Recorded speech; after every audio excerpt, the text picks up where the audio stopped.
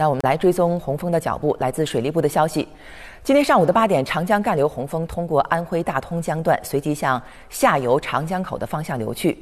十一号以来，长江中下游总体是属于降雪的降水的一个间歇期，水位呈现缓慢消退的趋势。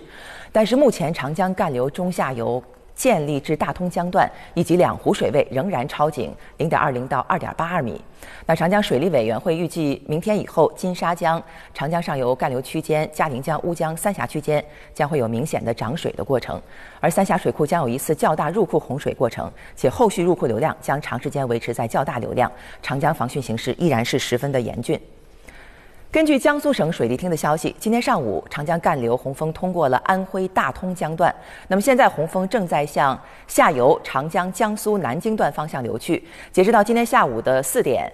长江南京段水位上涨到了十点零七米，超警戒水位一点三七米。最新的情况，我们就马上连线一下正在现场的总台央视记者李晓。李晓，呃，受到洪峰的影响，我们知道长江江苏南京段的水位还在持续的上涨。那为了应对洪峰的到来，现在当地具体采取了哪些措施呢？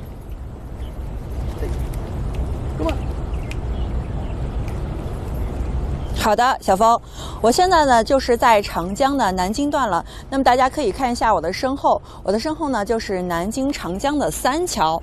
那我们现在在这个江堤上啊，可以非常清楚的看到这里有呢有一个码头。因为呢我们这个平时来看啊，这个码头其实它的这个落差和江面来说应该是非常大的。但是大家请看一个细节啊，在码头的最前端，我们看到呢整个码头基本上已经是紧紧着贴着这个江面了，而且呢由由于这个水位非常的高，我们看到停在这个码头旁边的这艘船也是显得就是浮在水面上。这个江面呢，基本上跟我们所在的这个堤坝岸所在的落差呢，已经不是很多了。那从整体上来看呢，就是近些天因为这个受到长江这个上游大流量的来水的影响，还有包括像这个江苏一直的强降雨，所以导致整个长江的江面啊，和平时相比呢，是宽了有三分之一还要多一些。而且呢，这个水。水的颜色呢，和平时相比也是更加的偏向黄一点的颜色。